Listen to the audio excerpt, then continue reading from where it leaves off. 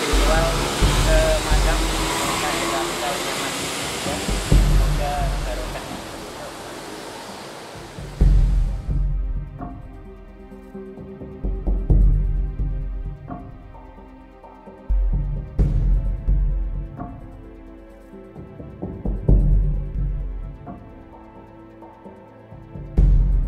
eh, ini bersama Bu Siti ya dari Prancis juga salam kenal buat Papi eh, siapa? kenal suami suami ibu siapa namanya? dengan eh, Bapak Igor. Bapak Igor.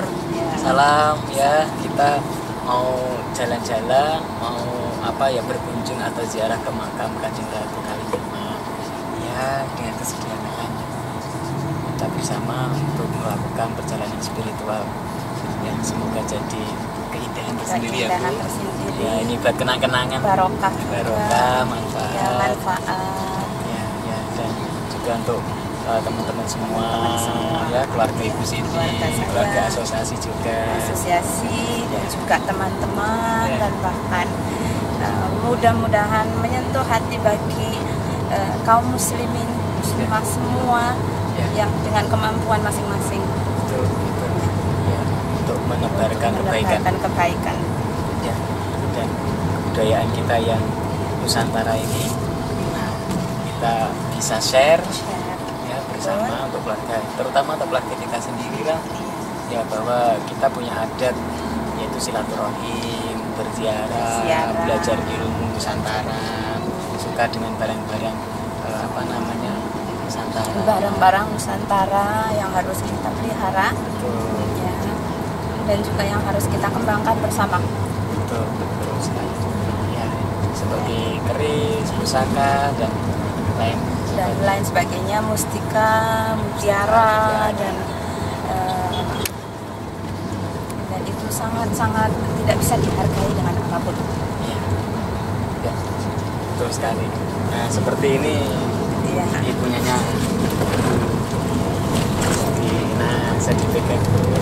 apa ini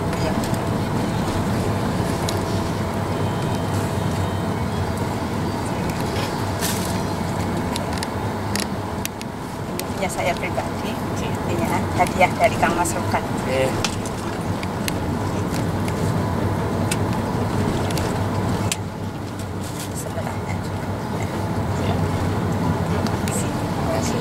Yang luar biasa. Nah inilah barang dari Nusantara ya. Dan insya Allah pusaka ini akan dibawa ke Perancis oleh Ibu Siti sebagai ikon bahwa ini adalah berdarah Nusantara Indonesia tanah Jawa.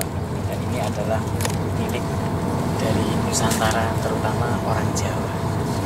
Dan teman-teman kaum muslimin orang Indonesia yang di mana pun berada mungkin siapa tahu video ini nanti akan dilihat oleh teman-teman Ibu Siti yang ada di Perancis ya yang Ya. orang Indonesia ataupun orang luar siapa tahu mau mem- membumikan atau membudayakan budaya Nusantara, Nusantara. di sana di, di Perancis. Baik, baik terima kasih. Baik, terima kasih. Ya kita sudah sampai di makam Mantingan dan Masjid Sultan Hadirin satu kali kita ke masjid atau musolanya dulu. Makamnya nanti di belakang Ada di depan Masjid Mantingan, masjidnya Sultan Hadirin sama Ratu Kalijaman.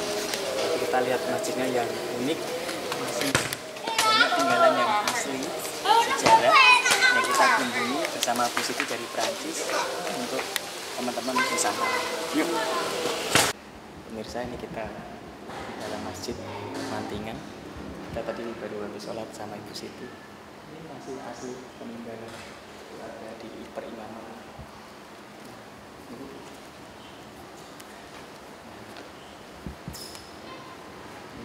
Ini tinggalan Raden Sultan Hadirin sama Ratu Kalinyamat.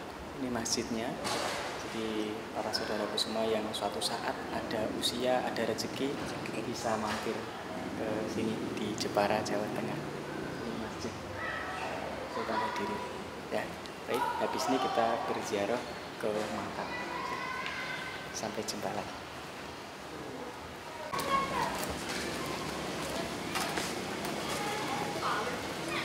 Ya, kita langsung ke makam.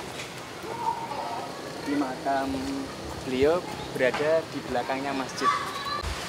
Di makam beliau, kebetulan karena penjaganya tidak ada, kita tidak bisa masuk. Tidak apa-apa, kita ada bisa di.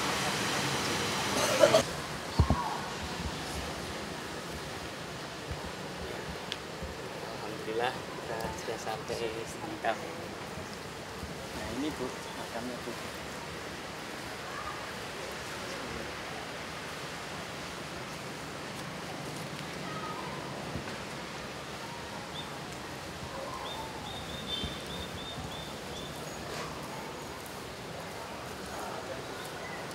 Oke pemirsa, di depan gapura makam bersama Bu.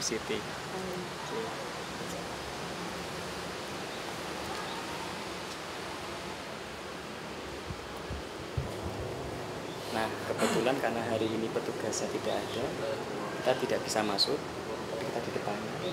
Nah, makamnya beliau ada di dalam. Bisa dilihat sekitar, ini adalah makam Kanjeng Ratu Nyamat bersama suami yaitu Sultan Hadi. Nanti kita berdoa bersama di sini untuk berziarah.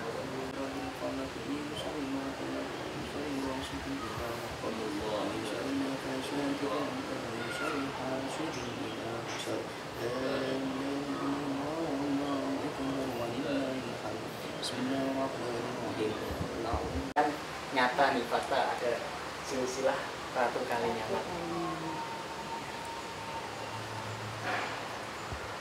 Bisa sini tuh bersama saya berkelihatan dulu nanti. Nah, ya. ini silsilah Ratu Kalinyamat ini di makam beliau. Ya, kelihatan. Alhamdulillah kita sudah berziarah di makam Kanjeng Ratu. Oh ini yang bawa Ibu. Nah, ini saya bantu sama pusakanya. Jadi cita-citanya sudah tercapai dari Prancis main ke Kudus ke tempat saya ikut private terus ini kita sudah ke makam Kanjeng Ratu Kalinyamat Ratu Kalinyamat.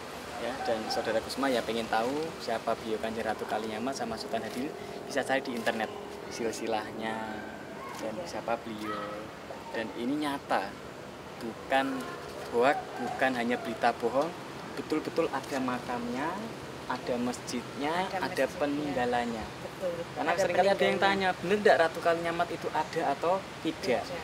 faktanya jelas ada makamnya ada masjidnya berarti sejarah Ratu Kalinyamat itu betul-betul Ada. cuman Dan saya memang sudah membuktikan sendiri. Iya, saya sudah sendiri. hadir sendiri.